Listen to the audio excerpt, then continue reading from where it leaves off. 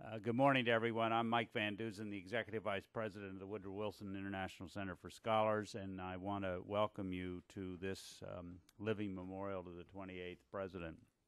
Uh, Jane Harman is our President and uh, CEO. Uh, she regrets very much she couldn't be here um, this morning. She is on Capitol Hill um, as a former member of the House Intelligence Committee, meeting with this Intelligence Committee leadership on uh, on some issues, and um, uh, but very much wanted to be here for a variety of reasons, particularly since uh, she worked in the Senate and early in her career with Senator John Tunney from California at a time when. Uh, Scoop Jackson was a very central figure in that institution, and um, uh, uh, I know you um, have are looking at a very um, important subject today, and I hope you have a stimulating dialogue. I certainly want to start by acknowledging the collaboration of our partner in this venture, the Henry M. Jackson Foundation. Um, this is the fourth annual, I guess, conference that we, the Wilson Center's Kennan Institute, um, has had here in Washington with the foundation. Uh, we value this collaborative relationship. I think we benefit from it, and we hope that the foundation and um, uh, others in, in, in, Seattle do as, as well. I especially want to thank the foundation's um, president, John Hempelmann, who's here, and his executive director, uh, Lara Iglitzin um, uh, not only for their work with us, uh, but also for their uh, important leadership over the many years at the uh, Jackson Foundation on human rights in Russia and elsewhere. I would also note that we are joined by some members of the uh, Jackson Foundation Board, and I'd like to welcome them here at the center today as, uh, as well. Uh, and I should also mention two members of the Kennan Institute staff that have been instrumental in putting this conference together with you, and Joe Dresen and Will Pomeranz. Will being on the stage, and Joe right down here in, in front.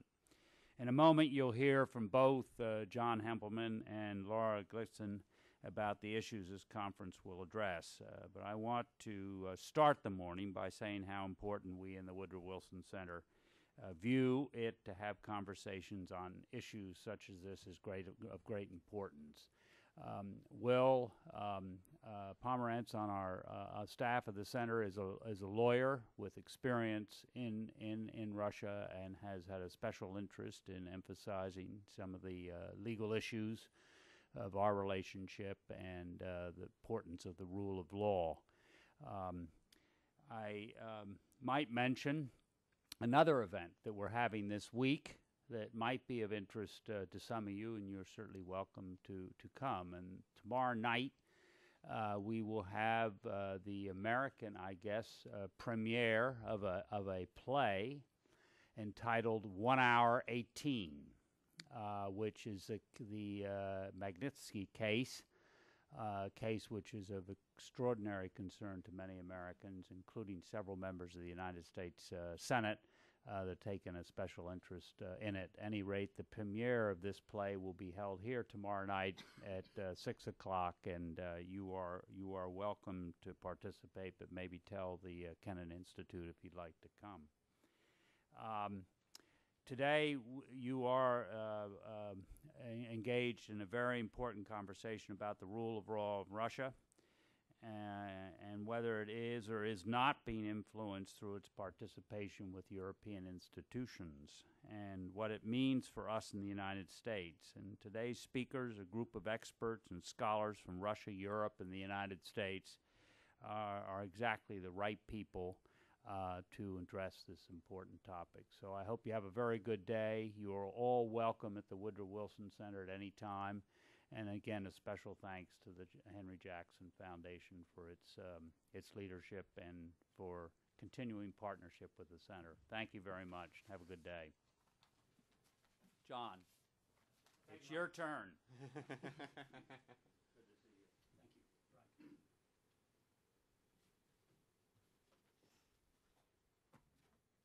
Well, good morning, everyone. And on behalf of the uh, Board of Governors of the Henry M. Jackson Foundation, I want to also welcome you to uh, the conference today. um, which is a terrific partnership between uh, the foundation and the Kennan Institute. Um, I'm a Seattle lawyer who has the great privilege uh, as serving as the president of the Jackson Foundation Board um, and trace my relationship with the senator all the way back to uh, when I was a student at Georgetown and worked for the senator uh, from 1960 to 1967, and then in his presidential campaigns in 1972 and 1976. Um, since 1983, uh, the foundation has sought to continue the work and the legacy of Senator Henry M. We call him Scoop Jackson. Uh, and we do this through lots of special programs and through grants we provide that uh, uh, provide for activity in the areas of interest in which Senator Jackson was prominent. And one of those very important areas is the, the area of human rights. And we've supported the development of human rights, the protection of human rights, uh, and the development of a civil society um, in the USSR since the waning days of, of the USSR in 1989. And we continue that work right up to today. That's why we're here. Um, our close working relationship with the Kennan Institute um, has gone back several years.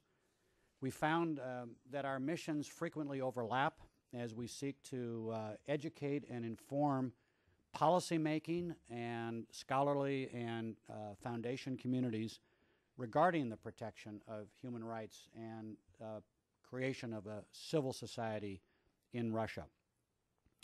You know, both uh, the Jackson Foundation and the Kennan Institute um, were established to honor great statesmen, uh, George Kennan and Scoop Jackson. Um, each of those men stood for very clear ideological and philosophical approaches to the USSR. And though they lived in different eras, um, they are two of the, the central figures in U.S. Soviet relations. Um, and it's, it's fascinating that, that those two legacies bring the Kennan Institute and the Jackson Foundation together on this subject that we're discussing today.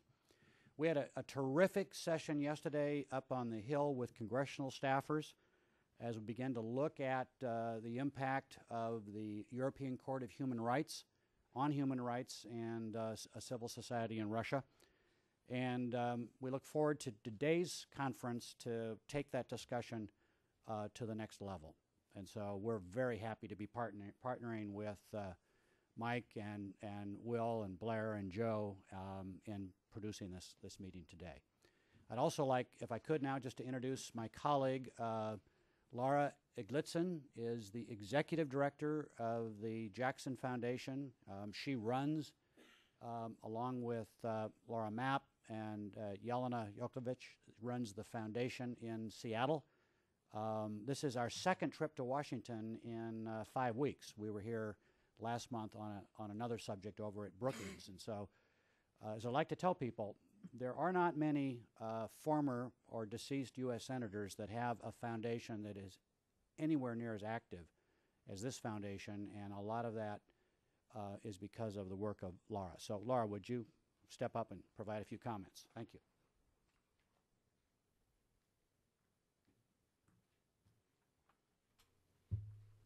Thanks, John. Good morning.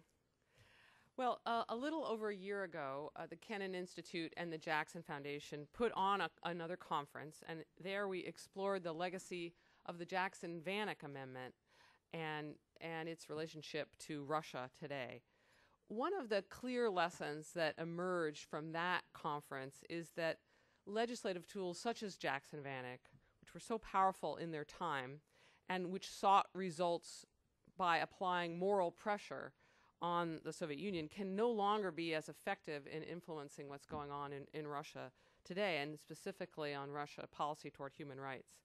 So while Jackson Vanik played its role really amazingly well, and uh, over a million and a half uh, minorities and, and Jews and other ethnic minorities emigrated uh, under the banner of Jackson Vanik during the U.S. Soviet era, today new approaches are called for, and that's the reason we wanted to to do this conference today. One direction that emerged clearly as we talked last year was that Washington, D.C. hasn't focused as much on one really important tool that is um, relevant today in human rights, which is Russia's participation in the European Court of Human Rights in Strasbourg uh, as part of its membership in the Council of Europe. It's to better understand what this means in this approach in influencing Russian policy that we organize the conference today, where we will assess the role of the court as what we believe is an engine of integration into Europe. By any measure, Russia has presented the European Court with any number of challenges, uh, including the sheer overwhelming number of court cases that have overloaded the docket of the European Court. And many believe strongly that Russia is merely content to pay the fines that are levied against it when it loses its cases and ignore the broader uh, political and legal principles that are inherent in these judgments against it. But others argue that Russia's uh, membership in the Council of Europe will eventually, or even now, is proving to be a positive influence on the rule of law in, in Russia. So, in the first panel, we hope to kind of more generally shed light on Russia's relationship with the court, with an eye as to whether or not really we are seeing a positive or a negative impact on Russia's development of rule of law. How has Russia reacted to this external impact on its uh, judicial affairs? Our second panel explores the Russian, the specific Russian experience before the court and looks at the record of its cases as well as how well it's implemented the court decisions. We also want to hear specifically how the NGO community in Russia thinks that Russia is doing vis a vis the court.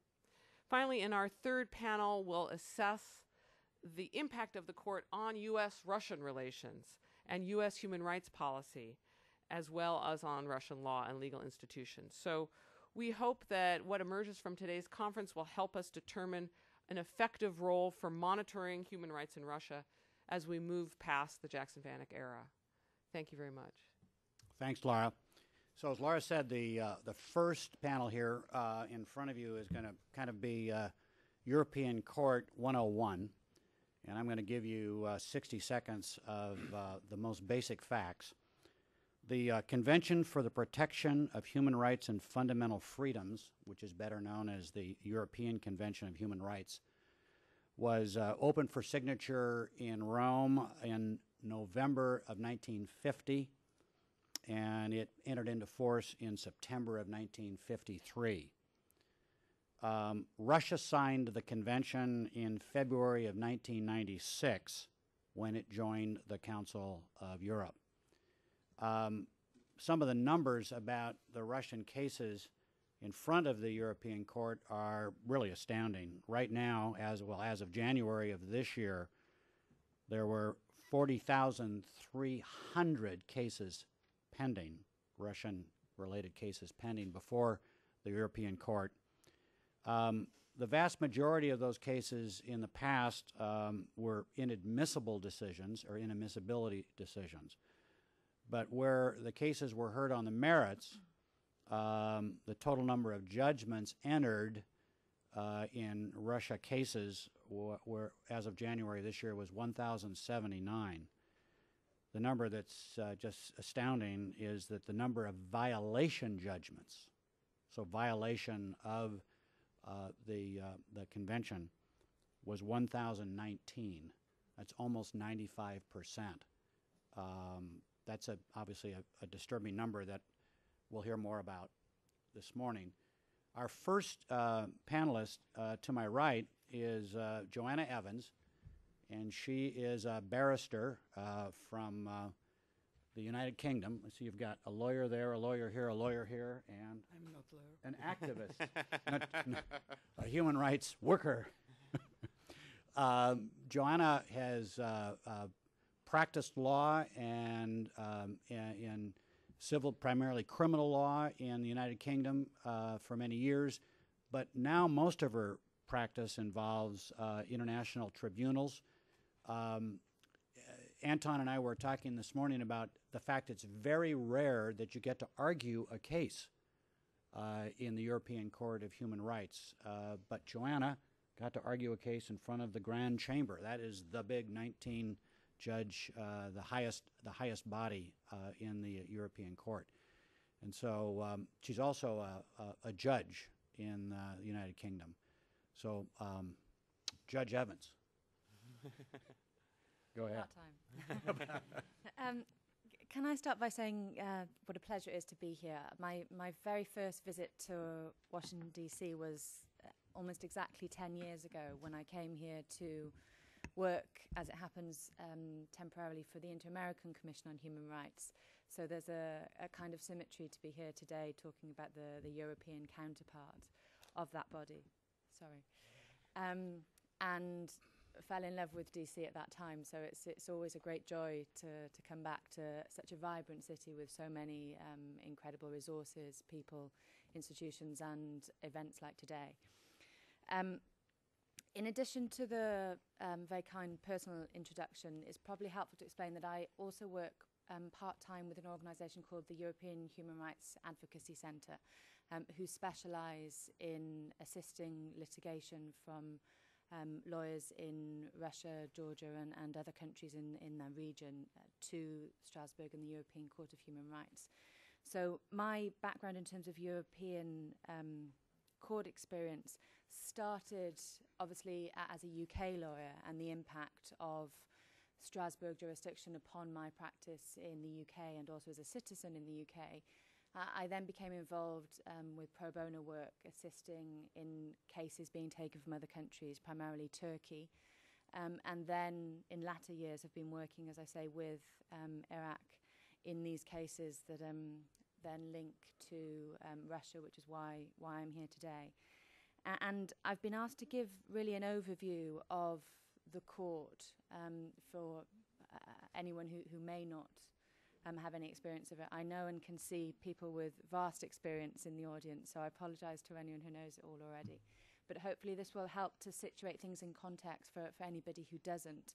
And also, I hope to try and paint perhaps a broader contextual picture of how um, the issues that relate to Russia aren't always isolated to Russia. So, some of the problems you hear um, in relation to uh, perhaps um, influential uh, Russian figures speaking out against the court and the court's judgments uh, is not something that isn't replicated in other countries because regularly in the UK we have a debate and complaints in relation to the imposition of judgments um, upon our, uh, our system and our, uh, that interference with state sovereignty uh, as people often infer that to be. And so it's a, it's a wider contextual um, problem in that sense, and perhaps there are lessons that can be learned across the board uh, as a result of that. Um, so, starting really very broadly, I, I think in some ways the the history of the European Court and the and the Convention um, over the last 50 years, in some ways, could be said to paint a picture of Europe itself uh, over those years. If you think back to when it started and how it started, it was really a, a very idealistic um, institution and um, very uh, ambitious goals at that time to have uh, a court which would have binding jurisdiction over um, state parties within the region and allow individuals to bring applications to that court for violations against their own state was quite revolutionary, really. A- and the fact that, that that has been achieved um, in some ways has led to the problems that you've already heard referred to the numbers of cases, the overstretching of the court, the lack of resources. When the court started, um, only 10 state parties were signed up, and they were obviously Western democracies effectively who, um, to, the lar- to a large extent, observe the rule of law. That's a very different situation from what we're dealing with in the present day, with 47 um, state parties signed up um, each with their own judge on the court to represent them. Um, but more importantly, um, a number of systems which joined obviously after the collapse of the Soviet Union, which come from, from a hugely different standpoint in terms of human rights uh, and some of the issues which, which the court is called to, to deal with. The, the diversity of issues which the court actually looks at um, and has looked at and, and ruled upon over the years, it is quite astounding, and it, and it can be lost, particularly if you spend most of your time looking at um, Russian cases, um, where the, the, it can sometimes look a little bleak um, when you're looking at the overall picture. But, but if you look right from the start of the European Convention and the, and the court's findings, and also look how the court has really played a phenomenal role in, in trying to centralize probably isn't quite the right word, but deal with um, very different jurisdictions, very different cultural background. So if you take as a very basic example the fact that, that the UK is a common law jurisdiction and most of the rest of Europe is a civil law jurisdiction, then the court was called upon in the 1990s to deal with the question of the restriction of the right to silence in criminal trials. That's something probably for any American, well, certainly for any American lawyer, and I imagine for most uh, Americans, full stop, that the thought that the the right to silence within a criminal trial could be restricted in any way would be quite astonishing. But it has been restricted in the UK, and that's something which has been upheld in Strasbourg.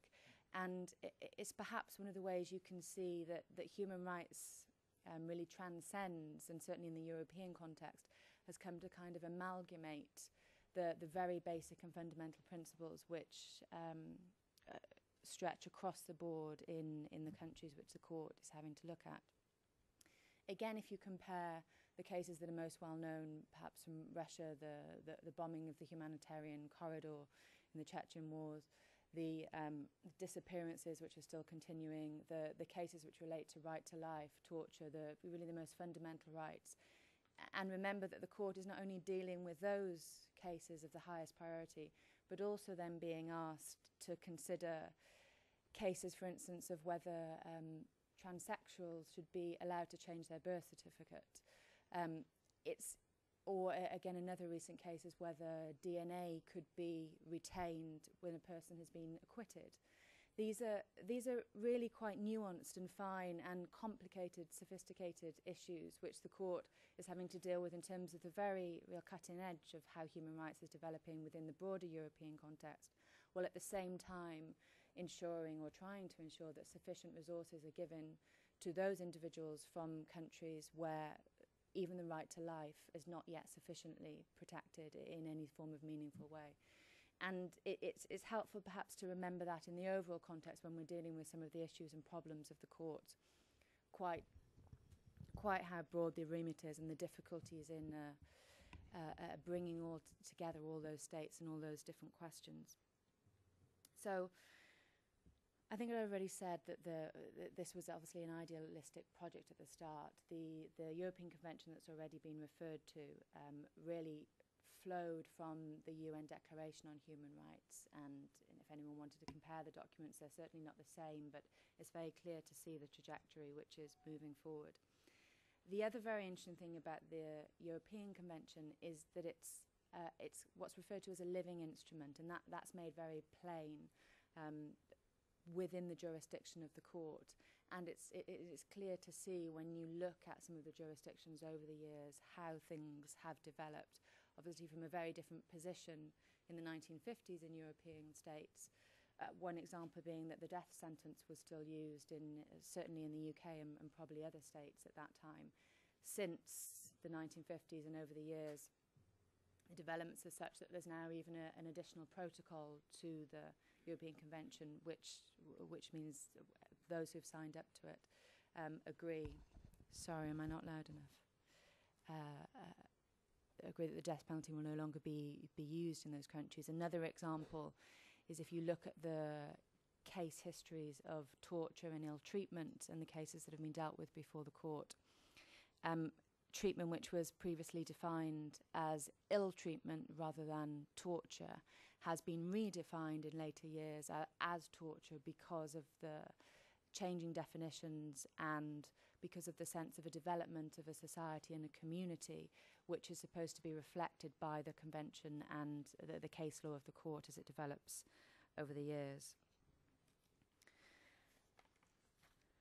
So, in terms of the characteristics of the court, um, for anyone who's coming really to fresh and, and wondering why it, it's important and, and how it would set itself apart, as I've said already, it really the one of the primary facts is the right of individual application to the court. So, in theory and in fact in practice, any individual who feels their rights have been violated by their state can go to the court and say, This is my complaint. Um, this is why I feel my rights have been violated. Please, can you look, look at my case? And obviously, I, I seek justice in relation to it. There is no need for a lawyer at that stage. Um, there may well become a need for a lawyer at a later stage, but but at, at, the outset, that's not something which the the court requires, which again is quite a, a remarkable um, starting point, and certainly was in the 1950s. It was really a sense of open access for any citizen who wanted to and felt that they were aggrieved against their against their state. Again, remarkable in terms of state sovereignty and if you read way back into the European court history, there, there's mention of the fact that initially um, courts, uh, uh, countries not only were signing up for uh, short periods in terms of um, allowing individual applications to the, the Commission, as it then was, but there was always this threat, this implied threat of potential withdrawal um, of that facility um, in the same way that we still have now, with the sense that potentially, if a, a state doesn't like um, what the court does or any case judgments, then there's always that threat and that possibility of withdrawal. That, of course, hasn't really happened. And it's particularly remarkable, I think, it hasn't happened in relation to Russia. And there are people here with far more expertise than me who might be able to shed light on, on why that is the case. But it but it's it's quite a remarkable situation to have judgment after judgment against a state and no um, uh, and no withdrawal, perhaps in the way that you see at the or have seen over the years at the International Court of Justice when states don't like what's happening and don't like the results. Um, as well as the right of individual petition, there is um, the possibility of, and there are cases where um, states take cases against one another. That that's used far less readily, perhaps for obvious reasons. Um, the idea, again, was was part of the idealistic nature of the setup of the court at the outset, which was that states would be able to police each other and their mon- the, the the rights that they were observing or not protecting within their own states. Um, in practical terms, there have been a limited number of those cases. One of the earliest ones was Ireland and the UK, which related to the treatment of IRA suspects um, in the 1970s, when, when obviously the, the court and the UK was dealing with how to grapple with terrorist suspects at that time. Um, th- there's been a case in relation to Cyprus and Turkey, and also cases in relation to Russia and Georgia. The point I'd make about the Cyprus and Turkey and Russia and Georgia is that which really indicates perhaps why interstate cases aren't being used so much in that the it's almost now viewed it seems as a as an almost an act of hostility that's perhaps putting a little too high but it's certainly not something which states enjoy relish or, or, or go around looking to take um, cases against another jurisdiction um, for all the reason perhaps we know about um, that links in I think to the inevitable political element of a, any international court, really. But in terms of the, the, the European court, it's perhaps demonstrated in. Um, perhaps if you look at the Turkish cases, you can see um, again Turkey, similarly to Russia, um, over very many years, there was very protracted and, and, repetitive litigation in relation to the very grave violations which are occurring largely in southeast Turkey and often against the Kurdish minority. That related to disappearances, extrajudicial killings, razing of villages to the ground. Um, and what was very interesting about those cases, and has been interesting in terms of the political angle, is that when Turkey has made its applications to join the EU, the case law of the court has been very important and has been able to be used by by uh, activists and, and anyone else um, who's interested to say, well, hang on a minute. In, in terms, it may, it's one thing to sign up to the convention and the court and to allow these cases, but in terms of actually complying with the rights that are protected, you can see in these judgments what, what has been happening and what hasn't been happening and is that really consistent with membership of the EU and the, and the level of protection of human rights which we would expect and want? And so it's interesting in that sense.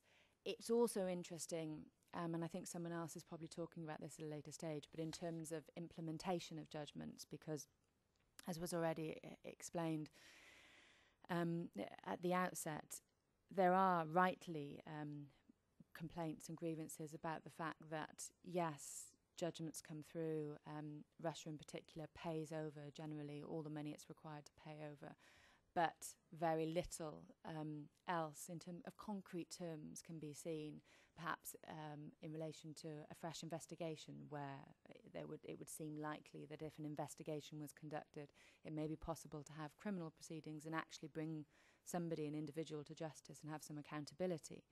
Um, or changing legislation, although that's happened in certain instances, widely it doesn't, it doesn't tend to happen again in a recent case from Azerbaijan, um, where a, ruling was actually a, a, judgment made by the court, has effectively been ignored um, by by that state.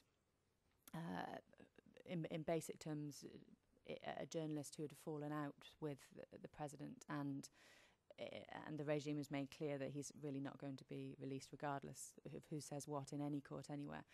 Um, so in terms of implementation, the, the Committee of Ministers have certain powers which have recently been strengthened to allow them to take steps against um, this form of non-implementation. That again isn't really happening in, in perhaps the more aggressive and meaningful way which um, one would like it to um, when you look at the history of these cases and, and the evidence that's there to suggest a, a real failure, and a flagrant failure to um, actually deal with the the underlying fundamentals of the justice of the situation. And again, that links in really to the politics and the realpolitik of the of the wider context and states being reluctant to to make even implicit threats within such a body against other states, and the reluctance to use the powers which have even been put there to to try and give a little bit more bite to the judgments of the court. But there are developments in that region, and it may be something which perhaps we can look at more with more satisfaction in, in the next couple of years, but we'll, we'll have to see on that front. Um, in terms of the protection that's granted, I'm, I'm not going to even try, and I've just realised I'm actually at the end of my 20 minutes, so I'll uh, try and do a few short sentences on the topics which remain. But I'm, uh, I wasn't even anyway going to go through the, the various rights, but, but they'll most of them will be ones that you're all familiar with and reflected in the, in the large majority of, of human rights instruments. And what's interesting uh, in terms of, again, reasonably recent developments is, the, is that states are guaranteeing um, primarily those rights to people within their jurisdiction, which usually is defined on a territorial basis in terms of their own country. Um, that's something which is not always the case and has been um, effectively extended in certain instances, particularly where you can show that uh, one country has effective control of the territory of the other. Um, it's something which is being challenged further and, and, being tried to be pushed further in terms of the South Ossetian cases um, from the conflict between Georgia and Russia and the violations which occurred when Russia had was either in occupation or in quasi-occupation of territory within Georgia. Uh, and again, you can you'd be able to see when those cases come out how uh, the potential of the court, the convention as a living instrument, and the principle that that there should be no real vacuum of protection within the um, states parties signed up to the territory uh, of the convention is such that the court will have to deal with that in, in a very careful way. Um, very quickly, uh, it, domestic remedies must be exhausted um, in the relevant country before an individual can go to the um, European Court of Human Rights. That effectively means going to the highest court or highest remedy that's available to you in your own country. And if you're still not successful at, at that level, you can then go to the European Court of Human Rights, but need to do so effectively within six months of um, the exhaustion at domestic level. I'm just going to scoot through and see if there's anything really vital that needs to be fitted in. No, I don't think so. one more. if there is, presumably someone will ask. Really, one more basic fact, and it's so basic that we maybe all in the audience assume this. I didn't realize this until a year ago, as I was learning about the European Court, and that is the European Court can literally trump or reverse, overcome, overrule the uh, decisions of the highest domestic court. Um, and that's something that the signatories um, to the convention agree to. Um, essentially, uh, uh, giving up, uh, as Joanna says, the sovereignty, the national sovereignty uh, in a judicial context. However, and that's right, uh, and then that is what they agree to, and that is what hap- should happen in principle, but doesn't Doesn't always. So uh, again, a good example is, and I'm sorry to keep using UK cases, but they just happen to work a lot of the time. There's a there's a big controversy currently about whether prisoners should be allowed to vote in the UK. Um, there, the judgment is clear from Strasbourg, but nothing has been done for an extended period, to the extent that there's even been a second judgment. So, uh, and you've even had the prime minister, in fact, coming into the public arena saying that he's disgusted at the prospect of prisoners being able to vote. So again, you can see the crossover between the political and the court and the the, the principle and the reality of, of what happens. But that is right, that that, that, that, that certainly is the case, and that's what should happen. And uh, I know, again, within a, an American context, that's unusual and probably quite shocking. Right. um, thanks, Joanna. Um, now we're going to hear from uh, Will Pomeranz. Uh, Will is the deputy director of the uh, Kennan Institute. Uh, he also teaches uh, Russian law at uh, Georgetown University, just across town here. Uh, before he came to Kennan, uh, a little over well 11 years ago, um, he was uh, program officer at the National Endowment for Democracy, and uh, focused on Russia, uh, the Ukraine, and Belarus. Um, my parents thought I had a lot of degrees and was in school a long time, but Will trumps almost everybody I know uh, who has, you know, not just a bachelor, not just a master's, uh, not just a PhD, but also uh, a JD, a Juris Doctor. Um, and so I'm I'm very proud and pleased to be up here at the table with a, a scholar who is uh, a real expert in um, this issue of, of human rights and the European Court. So, Will. Well, John, I'm grateful that you managed to. Uh, I, I've actually only been at the Kennan Institute for four years. Oh. It was it was the eight years that I practiced law that you skipped over, which, which I often like to skip over myself. So uh, I'm I'm very pleased. Thank you very much for that kind introduction. Um, I know that some of you might have, uh, when looking at the original program, noticed that Jeffrey Kahn was supposed to be here. Um, unfortunately, because of a family illness, he wasn't able to make it. So I'm going to pitch pinch hit for him.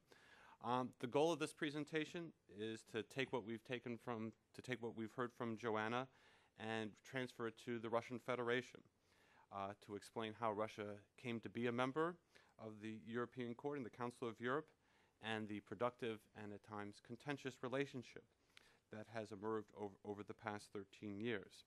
Uh, this is a full day conference, so I will leave the nitty gritty of all the cases uh, to the next panel. So uh, we'll, we'll, we'll kind of get to the uh, caseload enforcement uh, after lunch. But as, as was mentioned, Russia joined the convention uh, on February 28, 1996, and upon its ratification in May 1998, Russia became a full member of the Council of Europe. Now, there are lots of arguments pro and con in allowing Russia to join at that time.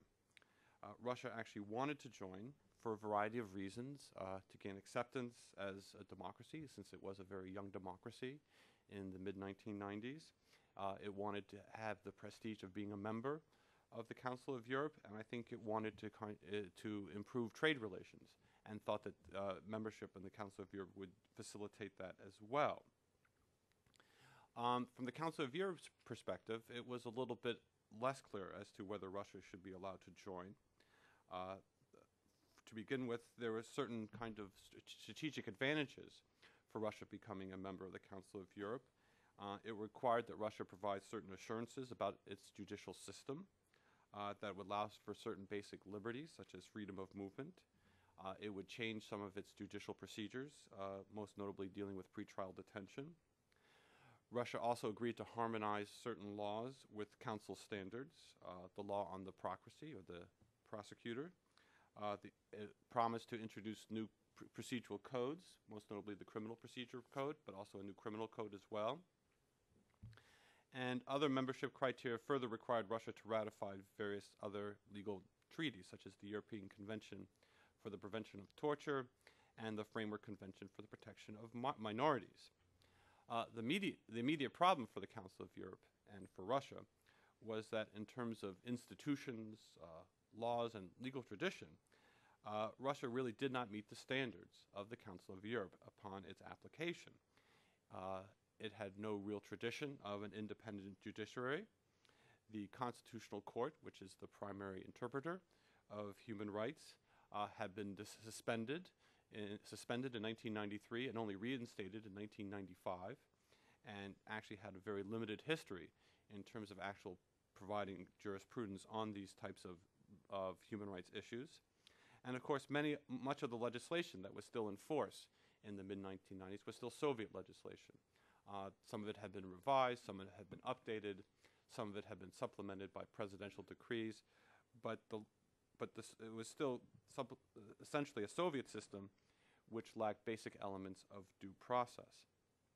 So I think there was a legitimate debate at the time of Russia's accession to the Council of Europe, but in the end, this, the decision was made by the Council uh, that integration, quote, integration is better than isolation, and that cooperation is better than confrontation.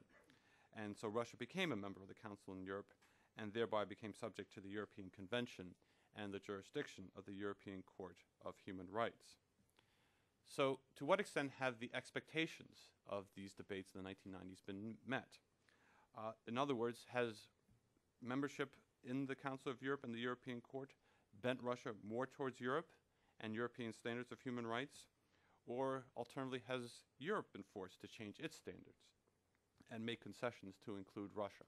And that's the fundamental question that I want to address during the rest of my talk. Now, on the positive side, uh, the court de facto has become an important part of the judicial process. And as we've already heard, uh, we've already uh, Russia has a significant number of pending cases before the European Court. Uh, in 2010, it was almost 42,000 pending cases, which represented 28% of the total caseload. Uh, the types of disputes are varied, but the largest number of cases revolve around the non execution of court decisions by Russian authorities. Uh, other disputes include unlawful detentions, violated, violations of freedom of speech or assembly. Uh, significant, uh, significant penalties have been imposed on Russia by the court um, as a result of these cases. Some of these cases, the penalties may be perceived as relatively small, between 3,000 and 4,000 euros, but for your average Russian, that's still a substantial penalty. And over the last few years, fines in excess of 100,000 euros have occurred. Uh, some of these cases have political consequences and are quite contentious. Uh, Mr. Khodorkovsky and the uh, sh- shareholders of Yukos have uh, cases pending before the European Court, and they've been pending, I think, since about 2004, uh, with no apparent decision as of yet in most of these uh, cases. Um, as we'll learn more in the second panel from Tanya Lokshina, there have been a huge number of Chechen cases. Uh, the European Court also recently found that Russia's law on political parties was excessively draconian, in particular criticizing the membership requirements, which are the highest in Europe. Europe. And I was looking at uh, my Kommersant today, and I learned that uh, the European Court has just uh, imposed a penalty against Russia involving the the case of the scientist uh, Igor Sutyag- Sutyagin, uh, and has ordered Russia, who was a, he's a prominent scientist who was charged with espionage, and the European Court has just demanded that Russia pay a 20,000 euro fine towards to him. Um, despite the growing influence of the court, I think it must be emphasized that the European Court itself is no substitute for Russian courts. They only handle a tiny number of cases, relatively, uh, in comparison to the total number of cases that are heard in Russia. Uh, it takes a long time to lit- litigate these cases, as uh, the Khodorkovsky cases have shown. And in many instances, um, petitioners really require legal assistance from Russian lawyers um, in order to pursue this litigation. Most Russians, at least initially, don't, did not know about the, the European option and required assistance before pursuing litigation in Strasbourg. Uh, so, although I don't think one should over exaggerate the impact of the European Court, uh, it still has nevertheless had a significant impact on the practice of law in present day Russia. I think, as several of the practitioners in this room will be, would be able to tell you, it's now common practice for lawyers to pursue a dual strategy in pursuing human rights litigation through the Russian courts, and then when the option becomes available, to the European Court. And in any controversial dispute, uh, the cry immediately goes out that uh, we intend to go to Strasbourg. So, in terms of the level of activity, I think the original decision to include Russia into the European Court has largely been vindicated.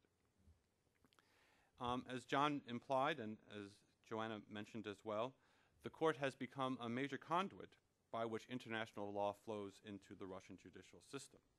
Now, international law is assigned a rather large role under the Russian Constitution. Article 15.4 of the Russian Constitution states that the generally recognized principles and norms of international law and of the inter and international treaties of the Russian Federation constitute an integral part of the legal system.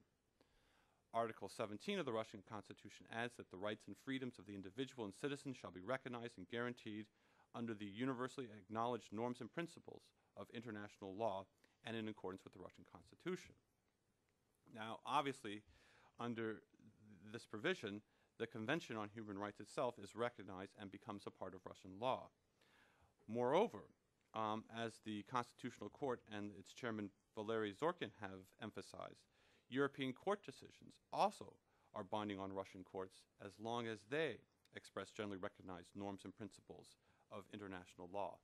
And as a result, um, European court decisions, in, in fact, have become a part of a broader phenomenon in Russian law today, and that is they've become to be viewed as, to a certain degree, as precedent.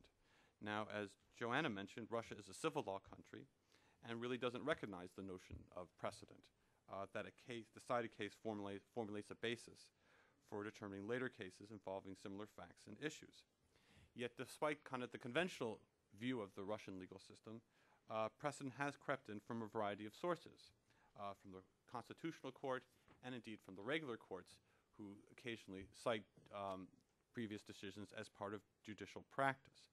So the European Court, in this sense, is part of a broader trend in Russia, dealing supporting the de facto recognition of the role of precedent and judicial decision making, um, thereby, I think, enhancing the status of the Russian judiciary. So, on one level, the European Court decisions support the notion, an emerging notion of precedent, or support the principle of judicial decision making in Russia. Moreover, it becomes an important vehicle by which international law enters Russian law. So that when you pick up a constitutional court decision nowadays, you'll often find references to the convention, but also to previous cases that have been decided by the European Court, uh, providing additional explanation or justification as to why the court is ruling in a particular area. The difficulty that remains, and Anton Burkov will talk about this in more detail in the second panel, is that uh, despite the, the flow of, of law into these into Russian law from the European Court, it's really limited to uh, the Constitutional Court and the Supreme Courts. It's the, the, the reach of the Convention and European Courts decisions on a regional level are much more limited. Uh, when a lawyer appears before a regional court, they really don't want to hear about the practices in Strasbourg. They want the issue to be addressed in terms of how Russian law applies. Thus, I think while international law and the European Court decisions have penetrated elite institutions, they really haven't filtered down into the regional courts in a systematic fashion. Uh, the final influence that I want to discuss of the European Court and its influence on Russia today is on the appellate process. And I don't want to get too deep into Russian procedural law here because I don't think this is really a, a procedural crowd. But um, nevertheless, I do want to kind of explain how the European Court has influenced the appellate process in Russia because I think that influence has been profound. Uh, Russia doesn't actually have one single Supreme Court like the United States has, but three specialized courts, each with their own Supreme Court, as it were. Uh, the courts of general jurisprudence, which hear the vast majority of civil and criminal cases, which is headed by the Supreme Court. the arbitrage or commercial courts that hear disputes among um, enterprises and is headed by the Supreme Arbitrage Court, and finally the Constitutional Court, which hears disputes through a variety of mechanisms, uh, requests from other courts, but also from the legislature, uh, organs of executive power, and individual citizens. All these courts are now subject to the rights expounded upon in the European Convention and the appellate jurisdiction of the European Court. Now, as Joanna mentioned, there is this idea of exhaustion of domestic remedies, that no one can appeal to the European Court until you've gone through the entire legal system. And in theory, that's how it should work in Russia. But for a variety of reasons, that is not the case. Again, I'm not going to dwell too much on the, the particularities of Russian procedure, but after the collapse of the Soviet Union, the Russian Federation retained its system of nadzor, or supervisory review, which is a particularly Soviet institution that allowed the procuracy to reopen a case long after a final judgment had been entered. Uh, the procuracy didn't even have to consult with the individual parties at hand in order to try to reopen the case. So essentially, that meant that really no decision in the Soviet system was, was truly final. That there was always the risk that these cases could be could be reopened um, via supervisory review. Now, when the European Court first addressed this issue, and it was via a Romanian appeal and then a Ukrainian appeal, it found the system of supervisory review to be in violation of the of the convention. And the former Eastern Bloc countries gradually got rid of this system of supervisory review. Um, when the European Court first addressed the Russian version of supervisory review, it also arrived at a similar, but not quite so sweeping, criticism of the process. Yet, rather than abandon the idea of supervisory review, Russia's retained the system, although it's transformed it significantly by decreasing deadlines and opening up the process to all parties. Nevertheless, that hasn't satisfied the European Court. And what the European Court decided is that a final judgment in the Russian circumstances was not the decision by the Supreme Court, but a final judgment that is subject to appeal to Strasbourg occurs after the first cassation or appeal decision and does not necessarily require that a petitioner exhaust all avenues of appeal or all avenues within the supervisory review process before appealing to Strasbourg. So when you look at the huge numbers of cases before the European Court, uh, one of the reasons for this is because they don't actually have to exhaust all the domestic remedies uh, that exist in Russia, that you can actually appeal a decision uh, before it has gone to the High Court. Um, I think this really shows the influence of the European Court. Russia has tried to change its system, although not abolish it, but nevertheless, the European Court has inserted, inserted itself in the process of reviewing these cases at a much earlier uh, stage than in other European countries. So, to summarize, I think Russia has had to bend to Europe in a variety of very important ways. Uh, it has the European Court has become a part of an alternative appellate process located outside the Russian Federation, but nevertheless must be enforced by the Russian state. It has led to the direct flow of international law into the Russian judicial system. It has resulted in judgments against the Russian state and the imposition of significant fines. It has led to major revisions in Russian legislation and led to major, major changes in the appellate process. So I think you can really begin to see how much influence the European Court has had on Russia, not only in terms of the judgments, but really beginning to try to change the Russian judicial system as a whole, most notably in forcing Russia to try to introduce reforms in its appellate process. Now, as Joanna mentioned, this has resulted in a variety of different complaints and criticisms from the Russian Federation, uh, that the complaints that the court is interfering in Russia's sovereignty, and the Minister of Justice has also questioned the impartiality and the objectivity of the court. And finally, Russia has not addressed the underlying conditions that have led to the flood of cases into, into the European, to the European Court in the first place. And I think this ambivalent response from the Russian Federation uh, raises the question that, uh, that, was this, that, was, that I talked about at the beginning of my talk, namely to what extent has Europe diluted its standards to keep Russia within the, the Council of Europe? Or to put another way, are the fines that are paid by Russia, uh, which are significant, but are they really kind of pocket change to the Russian Federation in comparison to the prestige that Russia continues to enjoy by being a member of the European Court? Uh, we'll return to this question, I think, in panel three this afternoon when we address the broader policy questions associated with the court, both for the Russian Federation and for the United States. What is interesting to note is that Russia recently had a clear choice as to whether it wanted to remain in the European Court or to leave it. And this revolved around the question of the ratification of so called Protocol 14, a reform that essentially expedites the handling of applications before the court.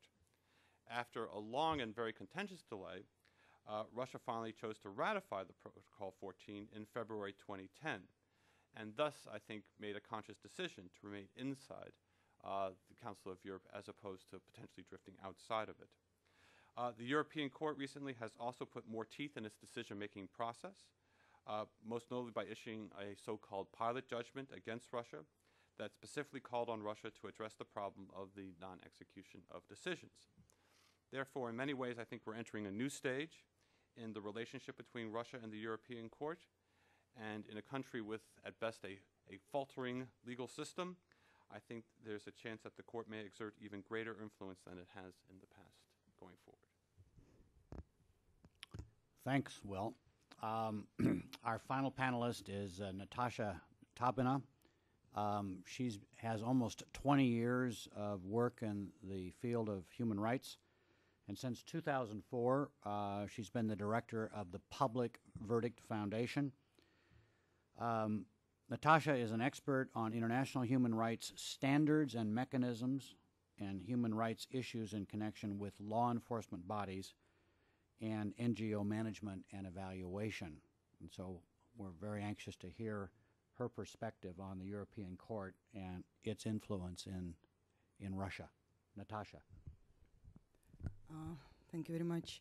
And I would like to first uh, to start with uh, uh, uh saying thanks uh, for the invitation to Jackson Foundation and to Kennan Institute to be here. It's a great privilege, and I've been asked to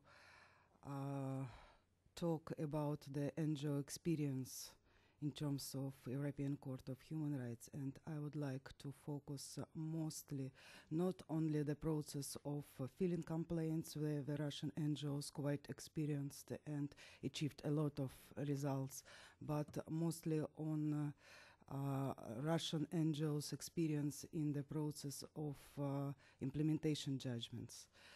And uh, uh, in general, uh, NGOs have no formal place in the process of implementation simply because NGOs is not are not a subject of implementation.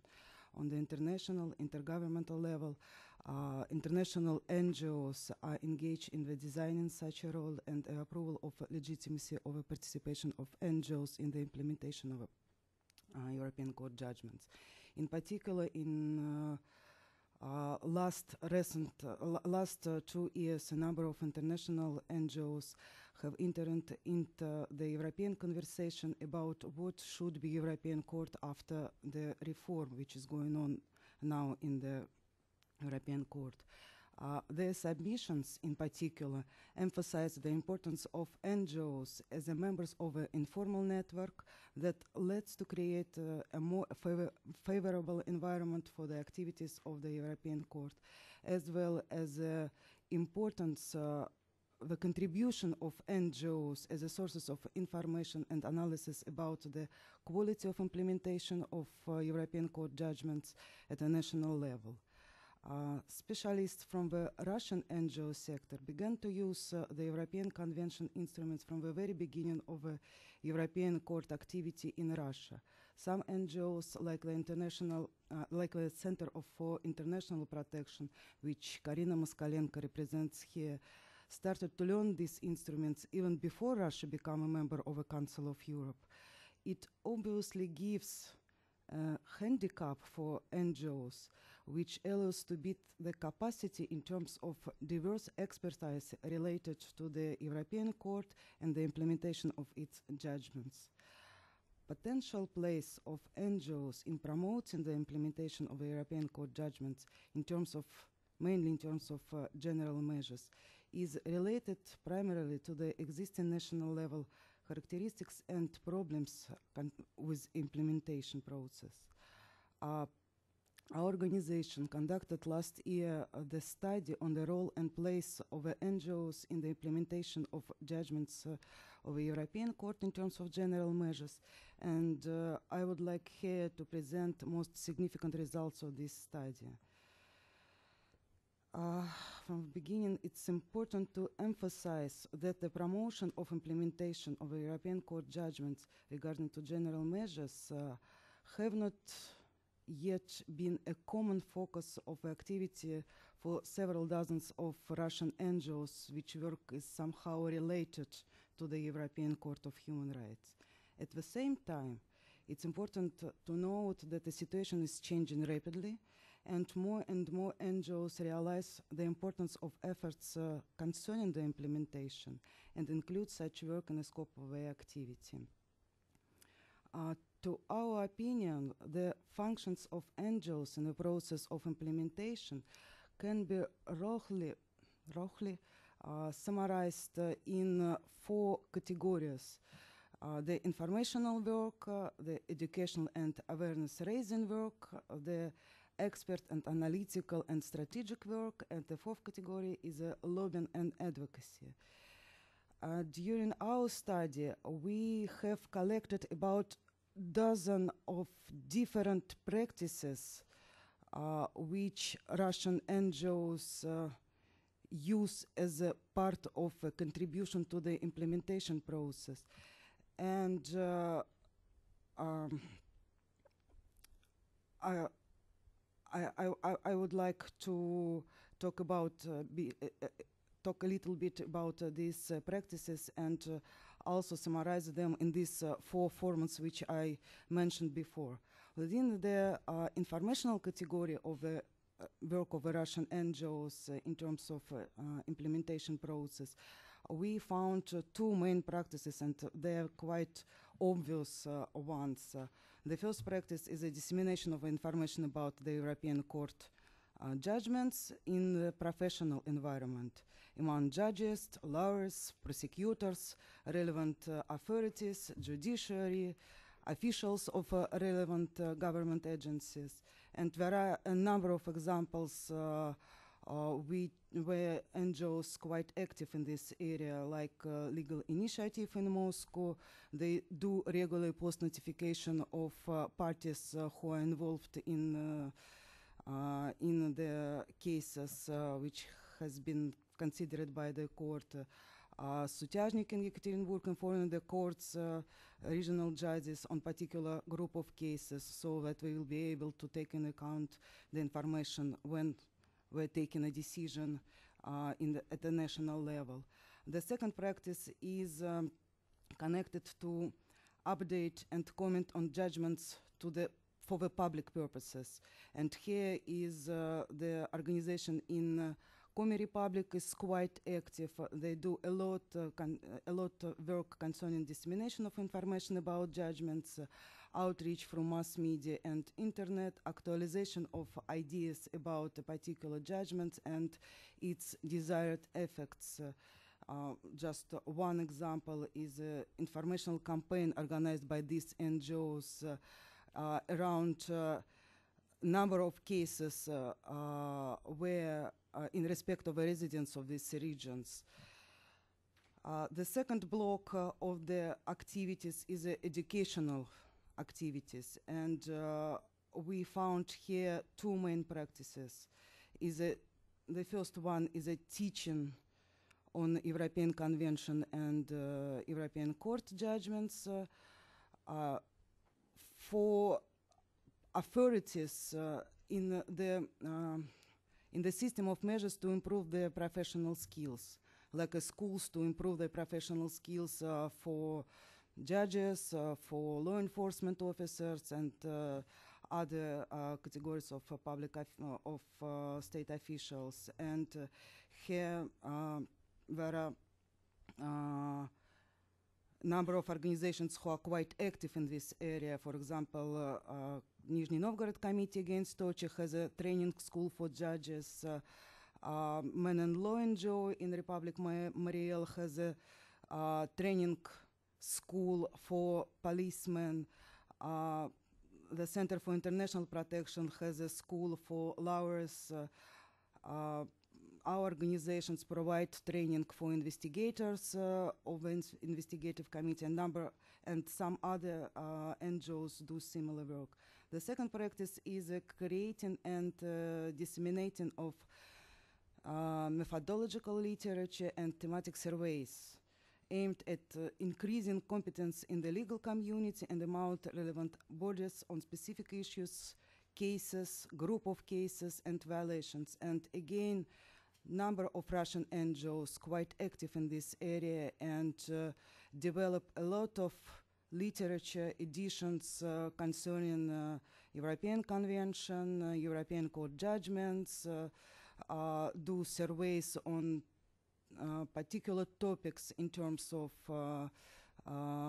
particular topic, particular thematic topics on judgments, and mostly all mentioned, all organizations which I've already mentioned uh, do such work. In the uh, third category of uh, mm, format uh, which uh, NGOs uh, use and contribute in the implementation process is expert and analytical formats. and we found here even more practices, four practices. Uh, the first one is uh, expert commentary, analysis and recommendations on particular judgments uh, of the European Court in terms of general measures, proposing measures uh, to achieve a new standard to realization of rights or freedoms. The second practice, uh, an independent evaluation of the implementation process on the concrete judgments or the group of judgments in terms of general measures, development or adaptation of standards on a national level. Uh, the third practice is uh, the developing approaches and models on strategic cases uh, and carrying out strategic litigation. And the fourth uh, practice is the participation of NGOs as a third party in the cases in order to achieve the fullest possible court decision. And also actions associated uh, in the introduction of European Court judgments uh, in the national legal practice through NGO participation in the national court, in the national trials. trials.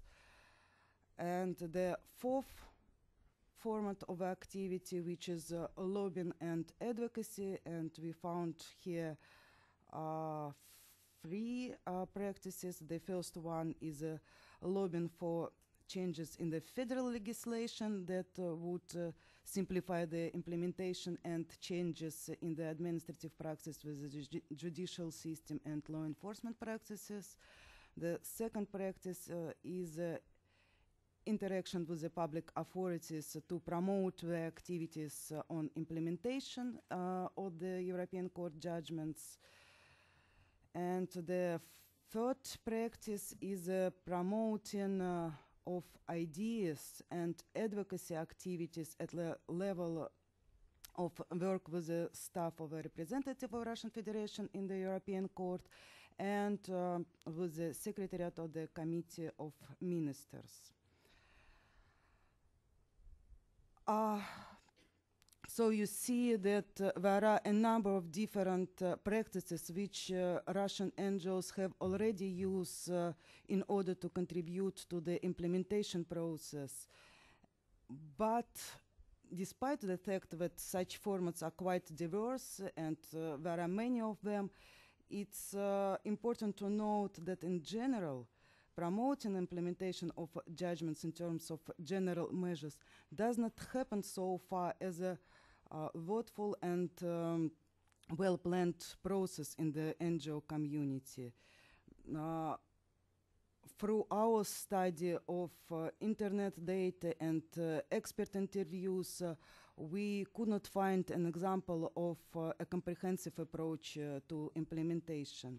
In this area, we see a lot of opportunities and uh, further steps that could and should be done by Russian NGOs.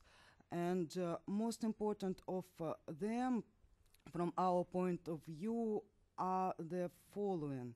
We think that uh, now is a time to switch from the um, primary task as a filling complaint to the primary task uh, to the implementation because uh, dozens of NGOs that are working on filing complaints uh, um, uh, with the uh, filing complaints to the European Court now operates in Russia and study of uh, their experience and assessments by experts uh, show that this work continue to be perceived as a whole, as a primarily for these NGOs.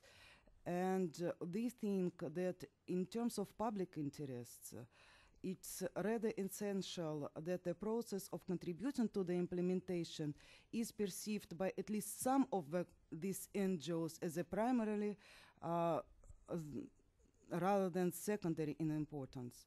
It means that even at the initial stage of working with uh, some particular case, there is a need for planning and modeling activities that are strategically, strategic, sorry, strategic, strategically, Strategically. strategically, thank you very much, strategically focused on implementation. And in these terms, court judgments is just the intermediate stage in this strategy. And uh, we see here uh, two possible approaches. Focus on implementation in the form of strategic li- litigation and focus on using an existing scope of uh, court judgments. But at the same time, even with switching to the implementation, um, primary task. The value of individual cases as individual examples of uh, restoration of the rights should not be underestimated. Uh, there may be a strategy designed to work on judgments on uh, so-called clone cases, uh, where achievements of judgments and implementation happen due to receiving um, kind of critical uh, mass of judgments when the factor of their multiplicity at some point is provoking the changes.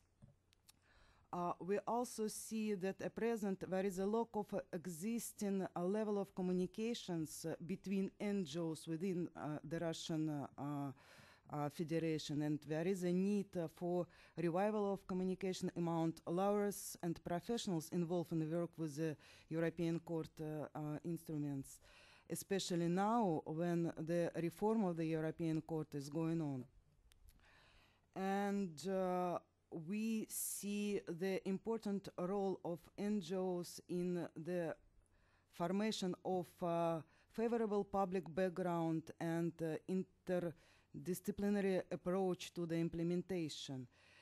Um, it seems that uh, the general approach of NGOs in the field of implementation should be informational proactive, focusing on uh, multiplication of information and knowledge in the judicial system and the, in the society in general, as well as on the uh, availability of relevant documents. NGO can play in this process one of the most important roles, increasing the credibility, their credibility as an institution which is meaningful for implementation process. In addition, since the work uh, on implementation does not belong to the pure legal expertise, there is obvious elements of PR, GR, etc.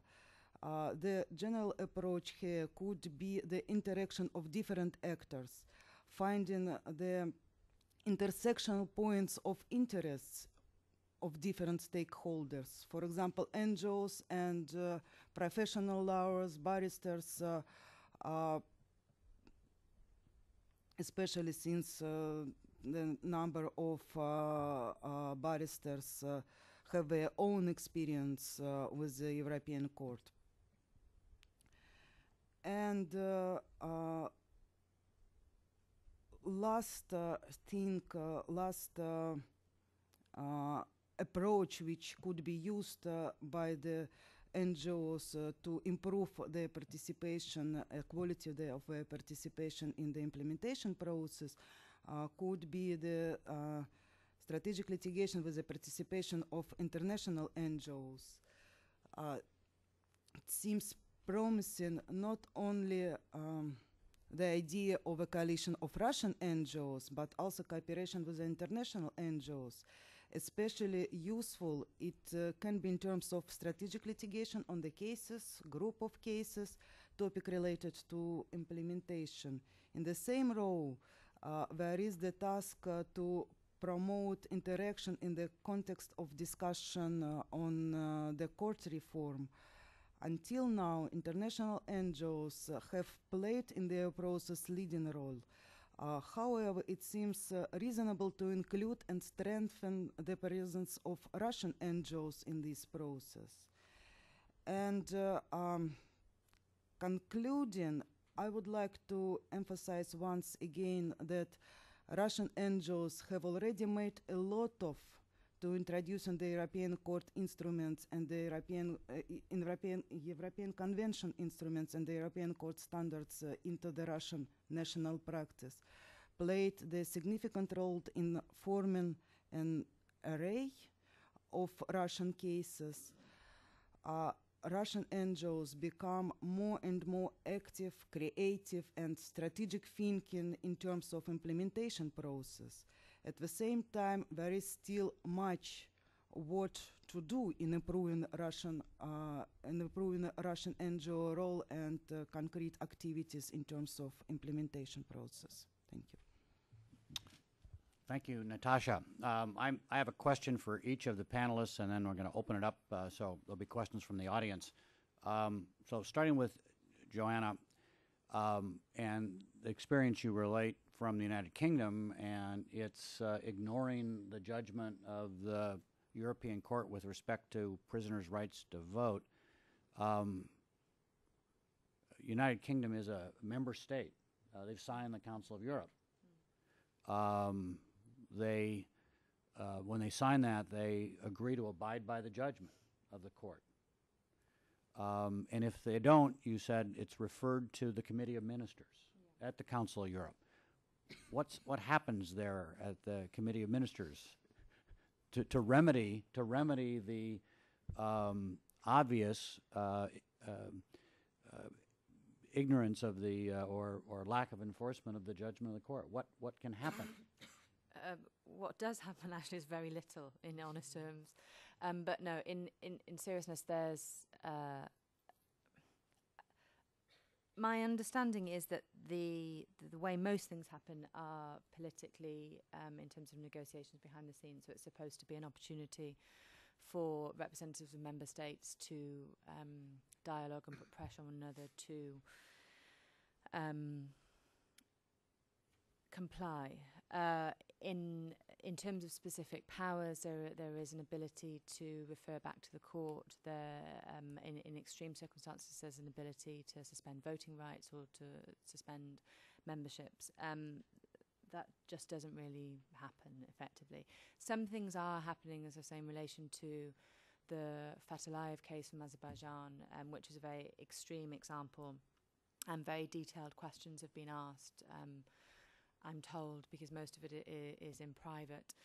Um, and it is hoped that as a result of the, the com- various combinations of pressures that the action will follow. But, but it, it really is a classic example of the, the political realm overshadowing the judicial. Um, th- and usually, and I think in the, in the history of the CHR, it's really been a matter of states' goodwill in a sense, as in so for the for the UK, uh, essentially, if you're signed up to something, you uh, generally speaking comply with it. At present, the the the, the current um, I was going to say regime, which is a little bit unfair. The the current government. Um, hasn't really explained exactly how it justifies or um, is is planning to not comply with the judgment. But in fairness, the previous government, uh, ob- obviously, uh, of the, the opposition party, did nothing for several years as well. So it's been an ongoing problem, and it's one which isn't very popular with the public. Um, the, the, the final way of dealing with it would be to withdraw from the ECHR, which um, the Cameron government has threatened to do on a number of occasions. Mm. The likelihood of that actually happening is very, very low, and it and seems to be being used as a, a political tool. Thank you. Um, will uh, protocol f- One point of clarification as it relates to, so when you talk about a- any country withdrawing from the European Court, Yeah. that imply uh, also from the Council of Europe? Exactly. Yeah, which is why it's so unlikely to happen? big. Well, Protocol 14, um, big deal in terms of Russia and the European Court. Um, what what do you see it now that it's been um, ratified uh, by uh, by Russia? How is it going to change how the court operates? Well, the, the major goal of Protocol 14 is to expedite proceedings.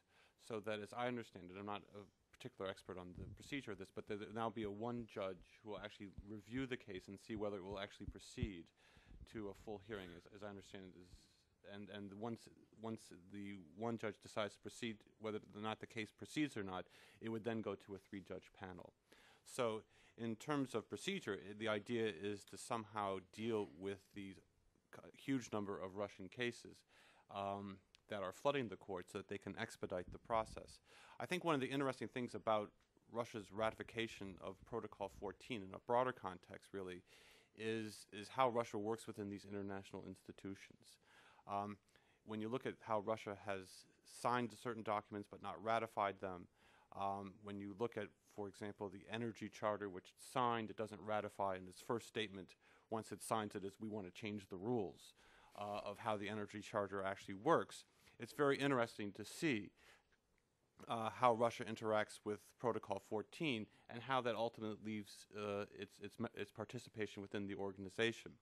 I think what is very interesting with Protocol 14 is really the, the, Europe, the, the Council of Europe did not bend towards Russia. And in fact, the, the Council of Europe basically decided that if Russia didn't ratify Protocol 14, it would find another way by which to introduce these measures um, so that other countries could deal with an expedited process and leave Russia behind. And when confronted with the possibility of being left behind or being perceived as an active member of the Council of Europe and the European Court, Russia chose to be a active member of the court and to ratify Protocol 14. So, um, in terms of its overall participation, I think it was. Um, I mean, Russia was basically two years behind everyone else in terms of actually ratifying Protocol 14. But I think by doing so, it has made a conscious choice, as I said, to remain within Europe and to remain a active participant. Thanks. Natasha, I'm interested in the in the, the nitty gritty as a lawyer. If I was uh, in uh, Russia and I wanted to enforce uh, a judgment of the European Court, do I go back to the Russian court and ask that court to take action, or do I have to take some action against the government? How how do you actually enforce it uh, in a, as a practical matter? How do you how does that happen in Russia? Actually, it happens uh, in different ways, uh, and uh, in terms of uh, what legal work could be done, I think uh, during our second session, uh, the panelists would talk about it, and there is a possibility to go in the court and demand the reopening the case and at the same time uh, there is a difficulties with this and not a lot of positive i would say little positive experience. For example we have more than 100 cases uh, i think 150 cases which already uh, results with the judgments in the European Court, so-called Chechen cases, and in almost all of them there is a need for effective investigation but still there is no effective investigation and all demands made by russian ngos lawyers who are involved in such cases uh, did not uh, um, reach uh, any solutions and did not uh, resulted in the proper investigation of such cases but uh, if uh, not to talk as a not not to talk about the legal work, but about other uh, activities which could be done by NGOs in terms of uh, uh, implementation. Uh, as I said, there are a number of different activities on a local levels which somehow connected to the implementation process, not on this particular case, which went Mm. through the judgment, but uh, Mm. on uh, general situation, systematic problems uh, which has been raised by this judgment and uh, existing in different uh, regions of Russian federations and Russian NGOs quite active uh, in trying to improve the situation and to use these judgments as a tool to create, uh, uh, to, to, to achieve some systematic changes on local levels. That's Just on uh, just on a positive note, to follow on from that, w- we actually have one case where, um, uh, following the judgment is, uh, and in action, um, it was taken back to court in in Chechnya, and the investigation has been reopened. That's obviously a very far cry from the investigation being effective and having a um, a result. But and I also think that the I thought that the Russian Justice Initiative have, have had similar um, success in, in trying to reopen. Obviously, it will remain to be seen, as Natasha says, what actually happens. But They're I just wanted to give a, a slight, a slight ray of hope in there. Thanks, Joanna. Um, so, questions from the audience. Uh, we got staff with microphones uh, back here. Uh, Hi, I'm Sarah Rodine. I'm from Open Society Foundations. Um, I have two questions. Um, I think probably Natasha would be um, the best to answer them, although um, you guys might have some insight too, especially for the first. Um, I'm very curious about how uh, the European Court of Human Rights is taught in law schools and whether or not there's an opportunity for NGOs to get involved in informing legal professionals at the beginning of their career about the court. Um, so that's my first question. And my s- second question is um, relates to um, disseminating information about the court to the Russian general public. What strategies, Natasha, do you see that are most effective in really uh, informing the public on um, on on the availability of this court? Um, and I mean, I guess sort of more specifically, what do you see are the most effective strategies, more specific than just uh, mass media campaigns? Uh, concerning your first question about the legal community and the possibility to teach them uh, uh, on uh, European Convention and uh, European human rights uh, standards. Uh, in the high school, in the legal, um, how it's called, legal department, legal, legal faculties of the high schools, uh, uh, there is no special courses on the European human rights instruments, the, and this is a problem. So, students who are graduated from the legal faculty know almost nothing about European Convention at the very beginning of their career. Uh, they uh, people who are started to work as uh, lawyers or, or as uh, investigators in the investigation commi- investigative committee uh, have uh, quite limited knowledge on the European Convention and the European human rights standards and uh, I think uh, the only um, happening in terms of uh, this lack of knowledge is what Russian NGOs uh, do in this area.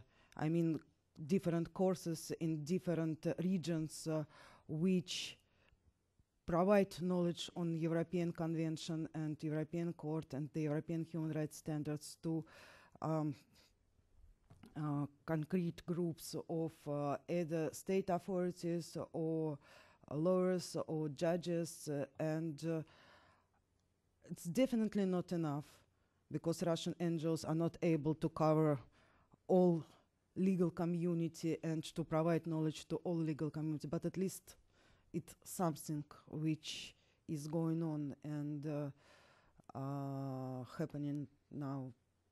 As for your second question concerning dissemination in, of information about court to the general public, I think that strategically uh, this activity is uh, quite important uh, from two point of views.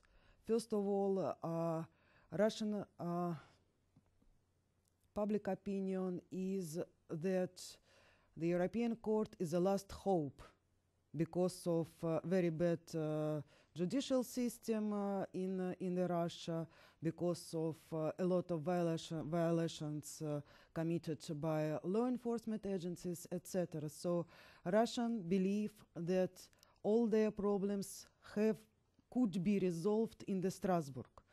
But at the same time, we don't know a lot how to apply, what are violations, what are regulations, and in and that's why there are a lot of applications submitted to the court which are uh, in, inadmissible. Yeah, thank you.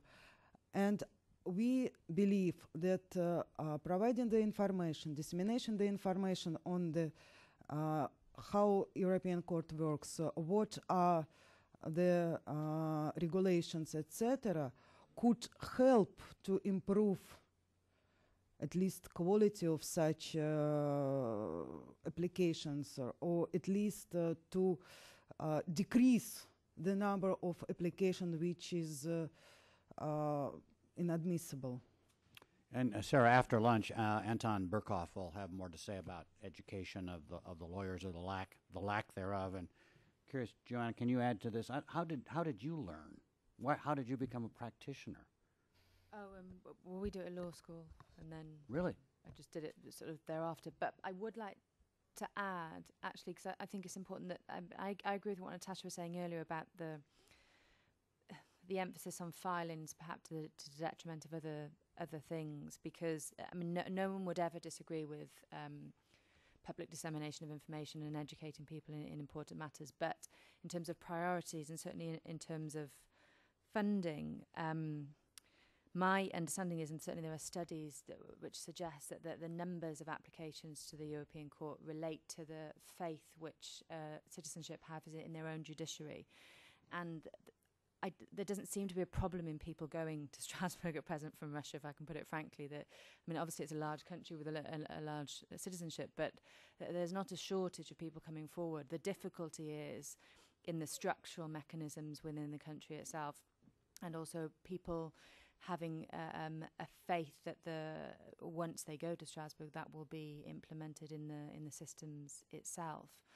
Um, linking back to so your your question, the first one in, in terms of education, um, there is, I think, very recently been set up a, a legal clinic type um, uh, project, which uh, someone either still at Memorial or used to be at Memorial is is coordinating in in Russia, um, which isn't something that we did in the UK particularly, but is now becoming more um, regular and obviously something that's used to great effect in this country. But but the but the fact that it's not taught, which I'm sorry I didn't realise at all, wasn't taught at all, is is problematic because obviously that the whole point of the system is that you that each jurisdiction should be implementing within its own domestic law what the what the rights and, and the guarantees Mhm. Are and and I had assumed that that happened as it does in most European countries. There's a question here, Joe. David Fishman, visiting scholar, Johns Hopkins University School of Advanced International Studies. This is a question probably for uh, Joanna Evans, although since it's on a topic that Will Pomeranz raised, Will, you might have a comment or thought on this as well. In the area of uh, disputes that involve um, commercial matters, at least tangentially, where uh, there's a claim of a businessman being uh, badly mistreated by a uh, by a government authority or something of that nature. Joanna, what proportion of cases, not just in Russia but more broadly, because the broader perspective would be helpful here, uh, potentially involve these matters? There are obviously some jurisdictional limitations on the part of the court. I mean, a contract dispute between two people con- couldn't conceivably, I wouldn't think, come before the court. But could you give some sort of an an overview of, of where that issue comes up? Um, perhaps it also comes up on individual claims of sex discrimination and unequal pay or things of that nature.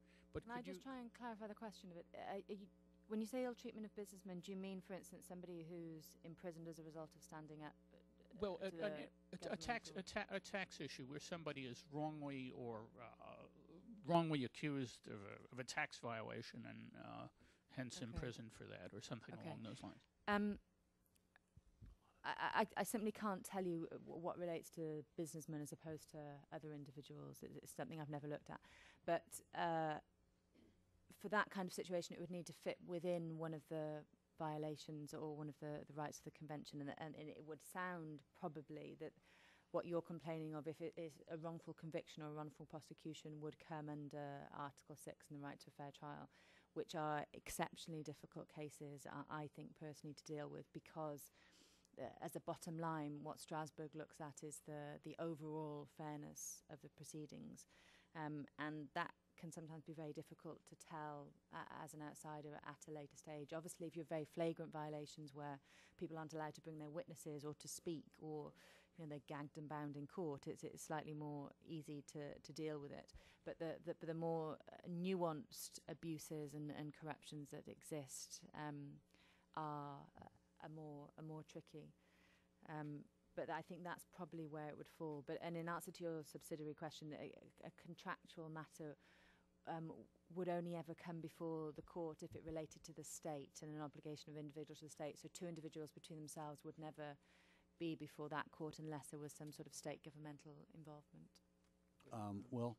Uh, that j- answer the the only thing I add is that unfortunately Karina Moskalenko is not here. She's she's here for the conference, but she's not. Uh, she's stepped outside. But she obviously has dealt with the Yukos. She's dealt primarily with the Khodorkovsky appeals, but there's also a, broad, a second appeal by the Yukos shareholders and their their rights to property that were violated by the Russian state. So she might be able to expand a little bit more on those types of disputes and how they work their way through the European Court. But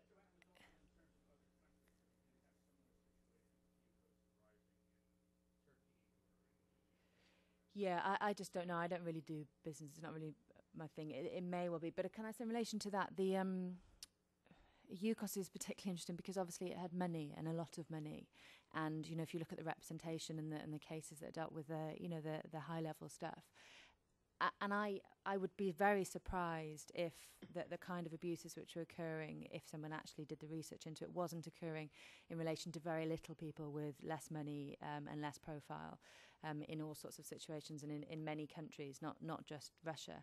And, so I think it's important to make that distinction between the people that, that you know make the headlines because of their resources and the violations which occur at, at every single level, really. Question down here.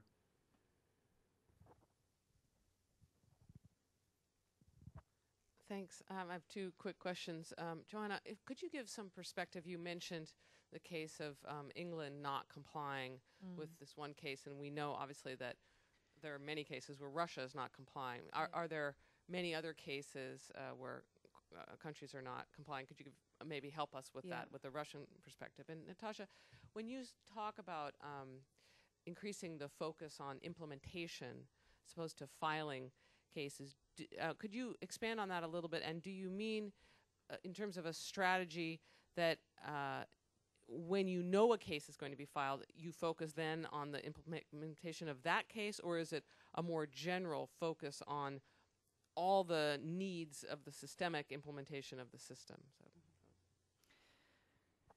Um, in terms of general problems of implementation, um, if you again look at the, at the broader and longer context, there, there was a period when, for instance, Italy was, uh, you know, top top of the league table in terms of, of not complying with cases that there was issue with Turkey. It, it's it's been something which has happened all, all along the way, as fa- as far as I'm aware. I think that the difference, or certainly from my personal perspective, the difference is that. Um, particularly in some of the Russian cases, the right to life cases, it seems to be so blatant. So if you look particularly at the disappearance and the killing cases, um, we, we tried to get a sense of what kind of compensation was being given, for instance, for an individual that was disappeared or, or killed in recent years. And I think I'm remembering correctly that it was it's, at the moment it's around about 60,000 euros, I think.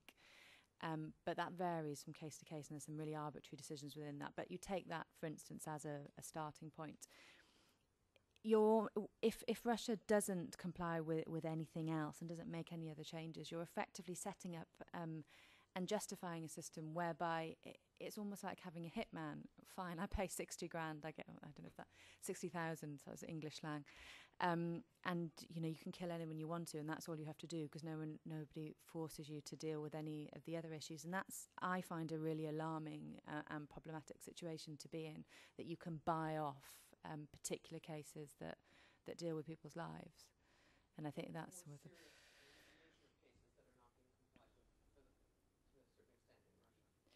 Yes, and also, you know, potentially quite calculatedly. I think. I mean, I don't, I don't know. I'm not, you know, I'm not Russian, and I I've got, it's, it's reasonably recent to me. But, the, but that, that's what strikes me about it is that the ability to financially buy out. Almost, it, it has that impression, which obviously for for any justice system is a very uncomfortable feeling. Natasha, uh, implementation Implement- generally or specifically?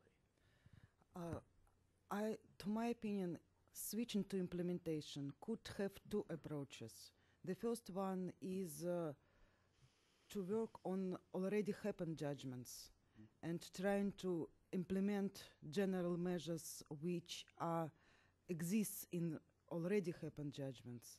So this is one strategy. The second strategy is uh, to work on new cases, but not keeping in mind only uh, um, filing complaints and uh, submission, su- submitting the complaints and taking the decisions, but also uh, further implementation in terms of general measures.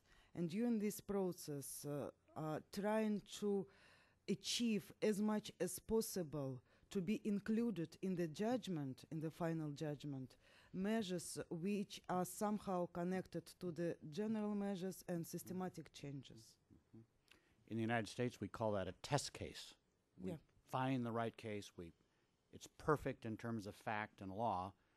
If we want to change something, uh, we actually set it up so it's it's a well thought out case that that you hope then has a judgment that is targeted at specific uh, ab- abuses or system systematic problems. Okay, that's uh, clear. Um, Anton. Thank you. I have a question to Joanna. As a UK citizen and a judge, although part time, can you tell us if um, obviously it took a long time for the United Kingdom to incorporate the European Convention into domestic law and uh, what happened after 1998 Human Rights Act? Did um, were there any trainings for the judges um, on the on the issue of domestic application of the convention?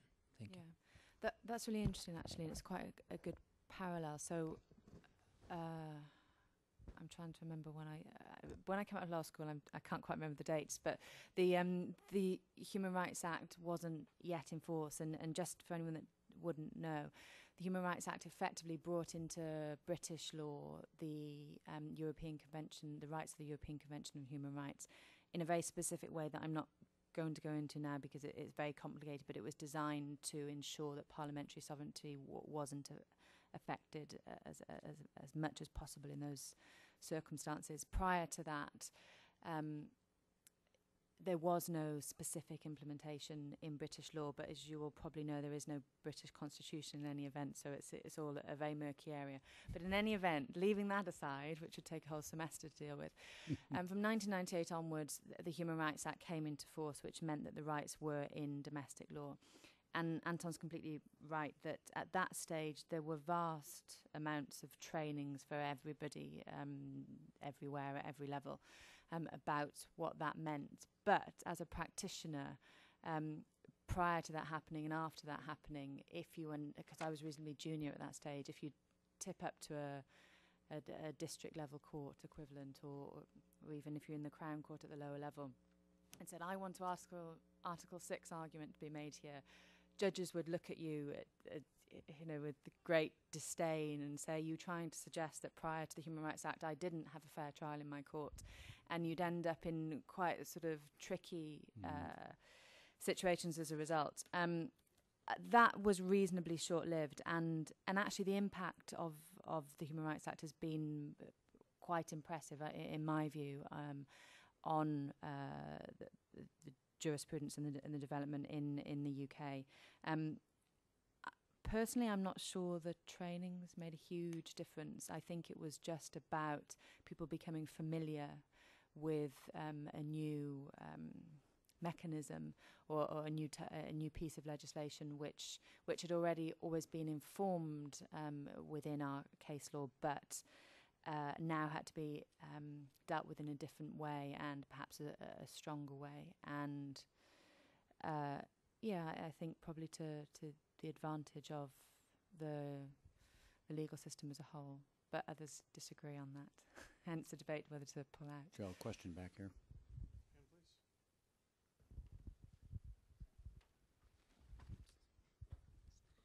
Um, Kathy Cosman. Uh, just a, a quick question as to whether or not there's any statistical analysis of the areas in which Russia um, pays compensation, compensation as opposed to actually implementing the decisions.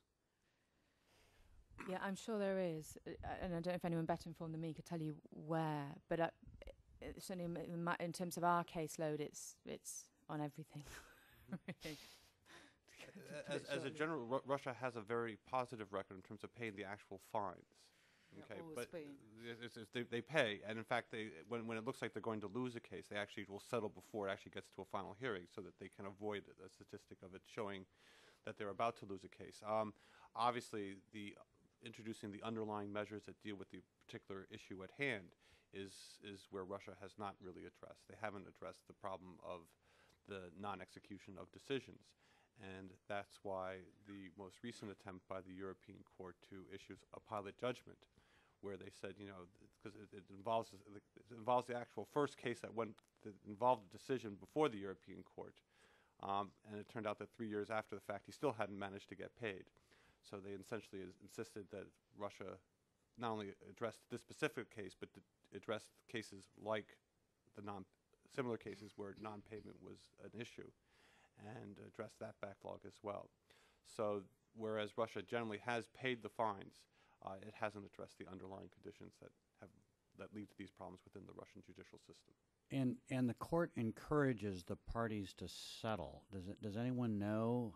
Is there a large number of settlements so that the the judgments are just the tip of the iceberg, or Well, I was surprised to hear Will saying that though th- th- there's this move towards settlement in cases that Russia's going to lose because, I mean, it may be in different areas that, Mhm. than the ones we've been looking at, but I haven't seen any any evidence of that in very overwhelming cases, particularly the the, you know the right to life type cases. Um, but the your original question in terms of the types of cases, I I think probably one distinction worth making is that it's not just about cases where investigations are required, because you could understand perhaps a reluctance to expose your um, uh, armed force members of the armed forces to prosecution and, and imprisonment if if the orders had come from the top to do certain things, which then result in judgments from the court. But it is not just that. Uh, one- good example of a failure um, is an Iraq case, which I think is called Fadeyeva, but I always get my Russian names muddled up because I'm not making much progress in my Russian studies. But um, that was an environmental case where somebody was found to be within far too close to a factory, which was pumping out um, uh, toxic material, to uh, put it in broad terms. And um, she was due to be moved outside the boundary that was said to be safe. And under domestic law, she was inside the ba- the safe boundary. Sorry, inside, too close to the factory. Even the domestic law agreed with that. Um, when it came to the failure to implement and the, the committee ministers looking at that failure to do that, the Russian response was, uh, because she hadn't been moved at all, oh no, the boundary's been moved now. And so the, the area which was said to be safe for human habitation had just been changed. So it gives you an example of the extent of cases where it, there's just a disinterest and a, an apathy, um, to put it charitably, in terms of actually putting concrete things in place. We have time for one last question back here uh, on the Joe. Yep. Um, I a question for Natasha, perhaps. Um, to what extent have the Russian NGOs been successful in establishing a link uh, with um, international NGOs that are working to, uh, in common purpose or hypothetically in uh, common purpose? And uh, has there been a, a- successful network established, or is the um, line of demarcation uh, very clear?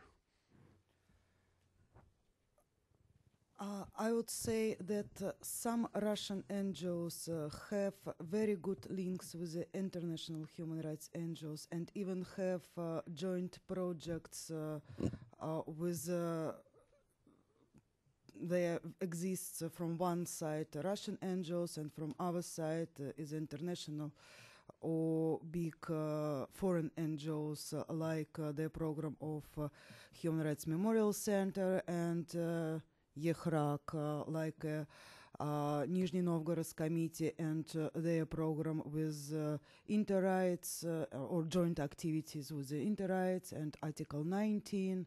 Uh, so there is the good established links between some Russian NGOs and international NGOs, but I would not say that there is um, a good formed network of Russian and international NGOs. So it's uh, more like uh, one NGO's here and one NGO's there connection.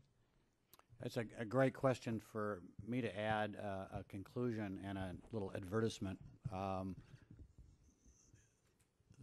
the Jackson Foundation is obviously an NGO, and it's one of the major focuses of our work to work with the Russian human rights NGOs. And um, that's been a, a, a, a long history of grant making and seminars and teaching and bringing um, people even to the United States to be trained. And it's something I'll just tell you that uh, we're very focused on doing even more of. Um, so, at least from our perspective uh, here in, in the United States, um, we're, we're trying to help. And, and Will, you could speak to that too. I mean, the National Endowment, that was a major, um, was it not? Right. I mean, there, there are a variety of different NGOs in the United States that are actively involved. And, and in specific instances, and I know at the National Endowment for Democracy, for example, it has supported individual groups that are that have tried to uh, prepare appeals to the European Court and train people about the European Court as well. So uh, that's also something that's very active in the United States. So, um, very stimulating panel, um, fascinating. Um, you know, the last panel today is going to be talking about the future. I, I, I, I've hesitated because of the specific expertise and the questions I wanted to ask of, of our three panelists here to ask about the future. So I'll have to wait to this afternoon to hear uh, more about uh, what we foresee 10 years down the road. I want to thank uh, Joanna and Will and Natasha for just a very, very interesting morning. Thank you.